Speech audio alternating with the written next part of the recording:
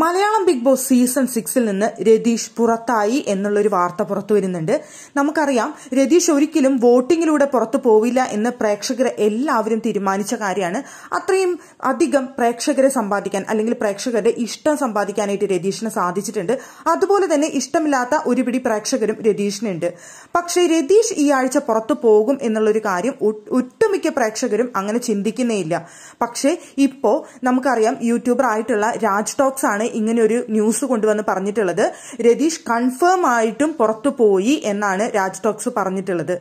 രതീഷ് ഒരിക്കലും വോട്ടിങ്ങിന്റെ കുറവ് കൊണ്ട് പുറത്തു പോകും എന്ന് എനിക്ക് തോന്നുന്നില്ല. മറ്റെന്തെങ്കിലും കാരണങ്ങൾ കൊണ്ടായിരിക്കാം രതീഷ് പുറത്തു പോയത് എന്നാണ് ഞാൻ കരുതുന്നത്. ഇതുപോലെ തന്നെ രതീഷിന്റെ അടുത്ത് ബിഗ് ബോസിന് ചെറിയൊരു ഇഷ്ടക്കേടുള്ള പോലെയൊക്കെ നമുക്ക് ഇന്നലെ ഫീൽ ചെയ്തിരുന്നു. രതീഷിന്റെ അടുത്ത് സംസാരിക്കുന്ന സമയത്ത് ഇന്നിപ്പോ ലാലേട്ടൻ വന്നിട്ടാണെങ്കിൽ പോലും രതീഷിന്റെ അടുത്ത് ഒരുപാട് ഫയർ ചെയ്ത് സംസാരിക്കുന്നുണ്ടായിരുന്നു. ഇനി അതുമൂലം രതീഷ് തന്നെ ഞാൻ പുറത്തേക്ക് പോവാൻ തയ്യാറാണ് എന്ന് പറഞ്ഞുകൊണ്ട് സ്വയം പോയതാണോ? അതോ മറ്റെന്തെങ്കിലും ശിക്ഷാ നടപടിയുമായി ബന്ധപ്പെട്ട് രതീഷിനെ പുറത്താക്കിയതാണോ എന്നറിയില്ല.